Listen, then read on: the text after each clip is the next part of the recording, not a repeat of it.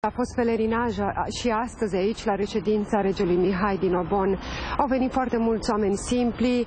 Ați văzut primarul din Obon, a venit și el, s-a recules uh, la căpătuiul majestății sale.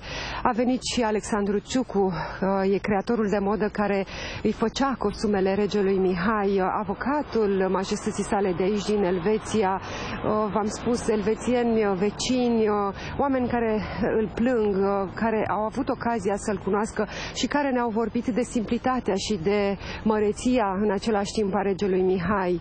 Cele trei fiice ale regelui Mihai care au rămas aici la reședința din Obon vor fi prezente și se vor ocupa de ceremoniile care vor avea loc aici, la Lozan, la Biserica Ortodoxă din Lozan, uh, luni și marți. Vor fi mai multe ceremonii. Uh, dimineață la 10 luni, uh, o alta după amiază la ora 17, dar și marți, însă cele mai importante și cele mai mari care vor fi oficiate de înalt preasfinția sa mitropolitul Iosif vor avea loc uh, luni și marți uh, la orele 14 în ambele zile. Așadar, toți cei care doresc uh, să se reculeagă în continuare la căpătâiul majestății sale, să vină aici, să semneze în cartea de condoleanțe, să aprindă o lumânare sau să aducă o floare regelui Mihai, o pot face atât mâine cât și poi mâine la reședința din Obon, unde um, vor fi primiți de secretara regiului Mihai și de cele trei fiice,